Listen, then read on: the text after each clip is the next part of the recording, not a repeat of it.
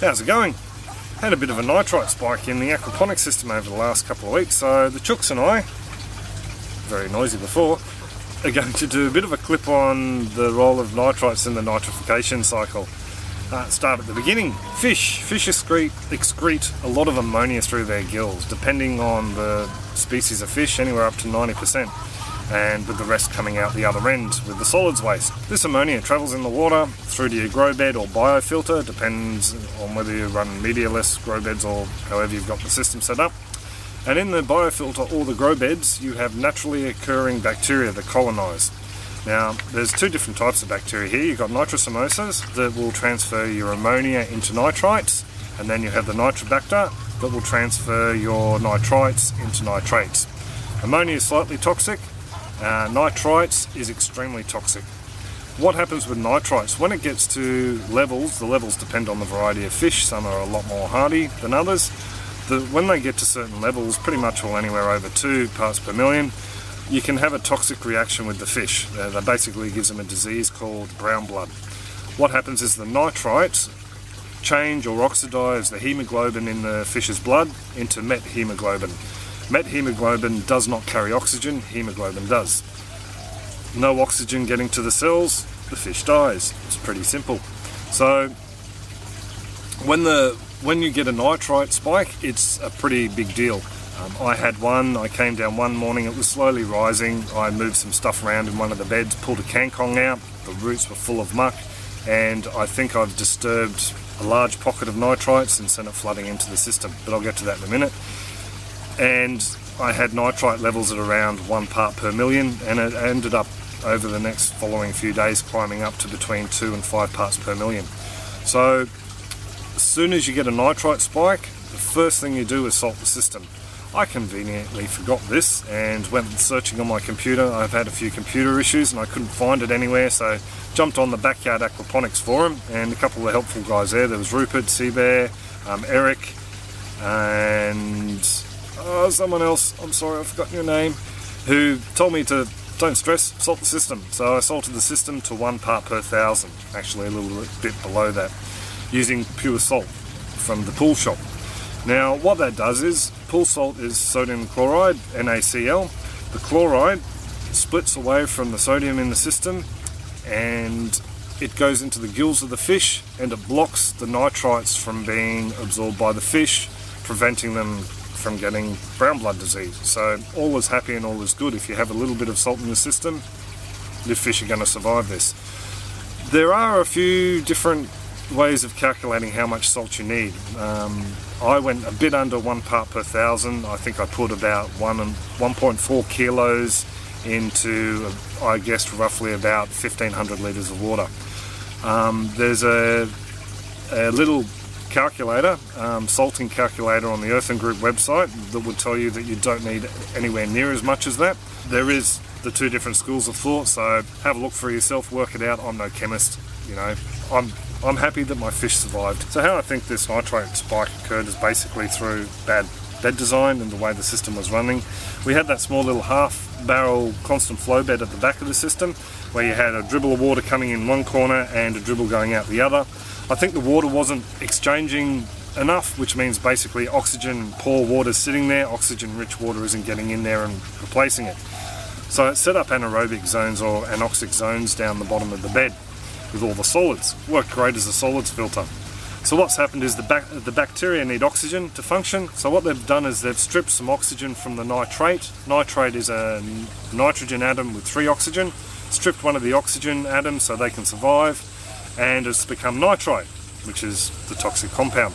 I've removed kangkong from that bed because it was just, yeah, the bed was getting choked out with the plant and I noticed there was a lot of muck on the root. So what I think I've done is I've released a lot of the nitrite into the system. So fish went off the feed, the levels were going up and down for a little while and finally put two and two together and decided to clean out that bed. I took it off the system, used a little air spear, jabbed it around in there, got all the solids moving off the bottom and flushed it out yeah, what came out wasn't pleasant, was very, very stinky.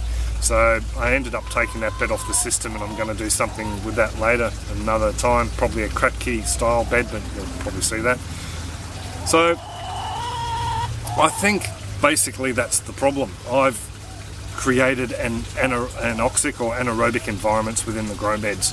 With the large IBC beds, you, they've actually got um, valleys as it's the, the bed on top of the sump in particular. Because it's the top of an IBC that's been cut off and flipped over, there's very deep valleys down the side and also where the lid sits in the centre that would normally be on the top of the IBC. So I think there's been a lot of solids accumulating in that. So I got stuck into that bed as well with the air spear and I cleaned that bed out as well, took it off the system. The water, the wastewater, the really disgusting stuff went straight on top of the grow beds and the cleaner flushes from later went actually into the grow beds, the wicking beds that is, sorry, to fill them up. So the water wasn't wasted, probably went through about 1200 litres to clean the whole bed out and I put it back on the system. So again, I used the air spear, worked fantastically. After all the beds were cleaned out, I've actually finally got the nitrites coming down in level. It's taken about a week now, but I've got them coming down to a position where they're between 0.25 parts per million and zero. I just basically thought I'd do this little clip just as a bit of a uh, precautionary tale. Um, be careful of the solids that build up in your beds. I'm actually thinking about redesigning the beds differently in the future when we do the rebuild and doing a bit of an addition in there so it makes it easier to clean those solids out. Another thing I'll definitely be doing is doing an improved radial flow filter. This one works, but I'm not happy with the way the solids are draining out of it, so I'll be either modifying that one or, or building a better one and trying to get as much solids out of the system as I can. More than enough ammonia comes out through the gills suspended in the water to be able to feed the system as far as I'm concerned. So trying to eliminate those solids.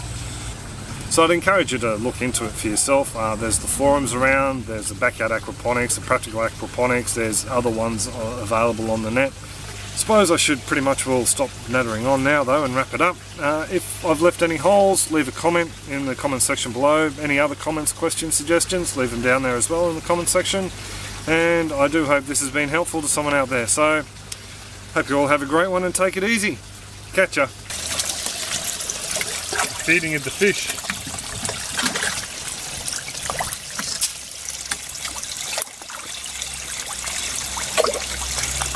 I've opened the lid a bit so they're a little bit shy.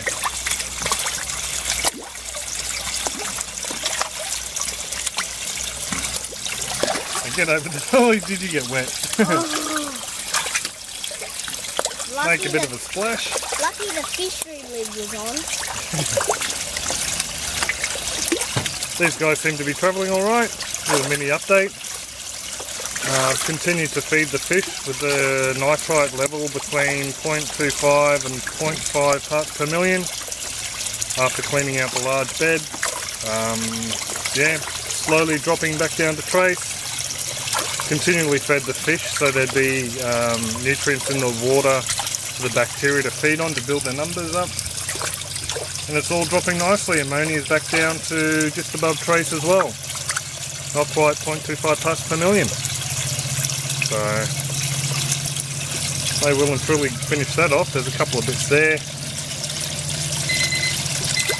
There's my latest test. Ready to go, so we'll have a quick look at that. So this is the ammonia. The ammonia to me looks to be between 0.5 and 0.25. So yeah, it's not, not as bright as 0.5. And the nitrites are to me I would say they are 0.25 or below. They actually have a bit of a bluish hue to it, more so than purple. So I'd say they're around, they'd be below if they'd be 2.5, sorry, 0.25 or below. So more than happy with the way the system's going. Just thought I'd do a little bit of a mini update.